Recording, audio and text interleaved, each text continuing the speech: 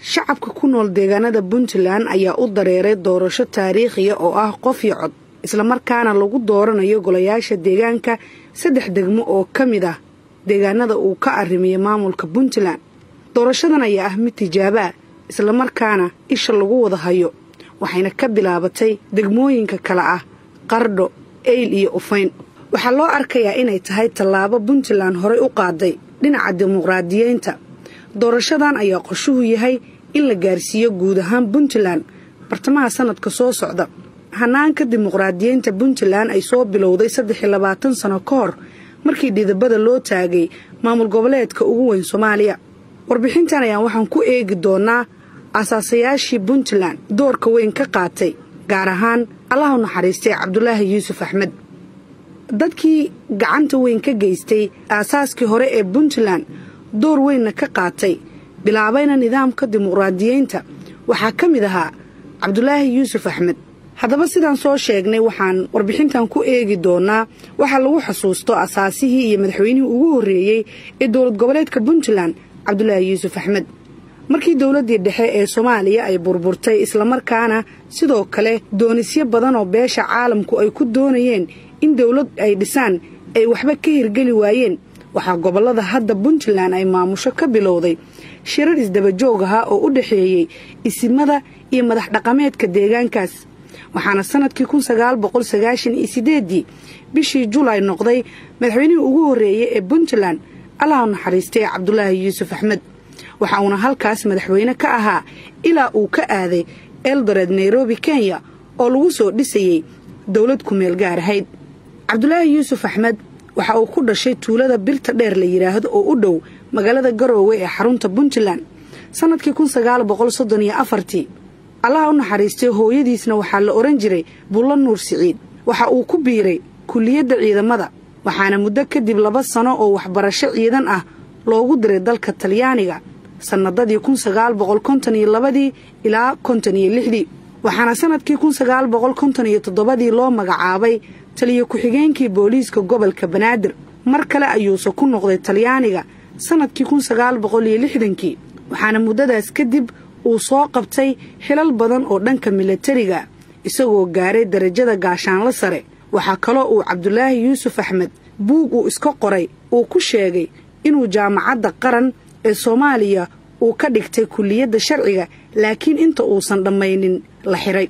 Waxaa sidoo kale dagaalkii xoreynta soomaali galbeed loo magacaabay cabdulaahi yuusuf inuu hogaamiyo ciidamada dagaalka.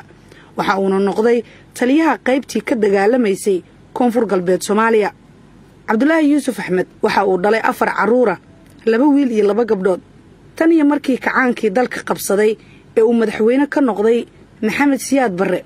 Cabdulaahi yuusuf waxaa xabsiga loo taxaabay isla sannadkaasba iyadoo lagu eedeeyey inuu ka cagajiiday la wareegiddii talada ee ciidamada. Muddadaas waxa uu xirnaa lix sano waxaana xabsiga laga soo daayey sannadkii kun sagaal boqol toddobaatan iyo shantii sannadkii kun sagaal boqol toddobaatan iyo sideeddii allaha u naxariistay cabdulaahi yuusuf axmed iyo saraakiil kale waxaa lagu eedeeyey inay isku dayeen inqilaab fashilmay waxaana cabdulaahi uu galay dalka kenya ka hor inta uusan u wareegin etoobiya waxa uuna isla xilligaa uu ka badbaaday dil lagu xukumay laguna fuliyey raggii ay saraakiisha wada ahaayeen ee loo haystay iskudaygii afgembigaas markii inqilaabkaasi fashilmay saraakiishii isku dayay ee uu horkacayay cabdulaahi yuusuf iyo kuwo kale oo mucaarad ahaa waxay asaaseen isla sannadkaas kun sagaal boqol toddobaatan iyo siddeeddii ururkii s s d f oo u taagnaa somaali salfishin democratic foranty macnaheeduna ahaa jabhadda dimuqraadiga badbaadinta soomaaliyeed. Waana jabhaddii ugu horraysay ee mucaarada oo soomaaliya laga asaaso. Dhowr jeer ayuuna cabdulaahi yuusuf madax ka soo noqday jabhaddaas.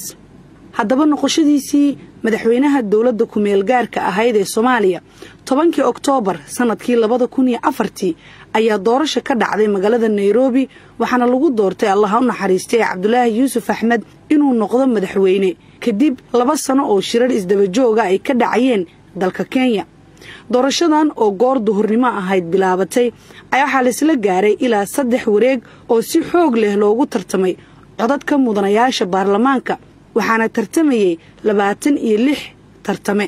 Tartamayaashaas waxaa ka mid ahaa cabdulaahi axmed cadow maxamed qanyare afrax cabdiraxmaan jaamac barre cabdiqaasim salaad xasan iyo maxamed xuseen cadow kadib afar sano diseembar labada kun iyo siddeeddii ayuu cabdulaahi yuusuf hortegay golihii baarlamaanka ee dowladdii ku-meel gaarka ahayd ee magaalada baydhabo isagoo warqadihiisa iscasilaadda u gudbiyey aadan madoobe oo ahaa guddoomiyihii baarlamaanka xilligaas. Waxa uuna muujiyey xilligaas in iscasilaaddiisu ay tahay cadaadis kaga yimid beesha caalamka. Cabdulaahi yuusuf markii uu la hadlay baarlamaankii ku-meel gaarka ahaa waxa uu durbadiiba diyaarad ka raacay magaalada baydhabo oo isla maalintaas diseembar sagaal iyo labaatankeedii gaaray magaalada garoowe ee xarunta gobolka nugaal waxaana halkaas ku soo dhoweeyey madaxweynihii xilligaas ee dowlad goboleedka puntland jenaraal cadda muuse xirsi. Waxa ayna u gudbeen xarunta madaxtooyada ee garoowe. Allaha u naxariistee marka laga tago aasaaskii puntland inuu hoggaan u ahaa waxyaabaha lagu xasuusta cabdulaahi yuusuf axmed waxaa ka mid ahaa la dagaalankii itixaadkii soomaaliya. Inta badan dhallinyarada deegaanada puntland ayaa tusaale u soo qaata allaha u naxariistee cabdulaahi yuusuf axmed oo ka mid ahaa asaasayaashii ama maskaxdii ka dambaysay inay puntland dhisanto maantana ay soo gaarto heerka ay taagan tahay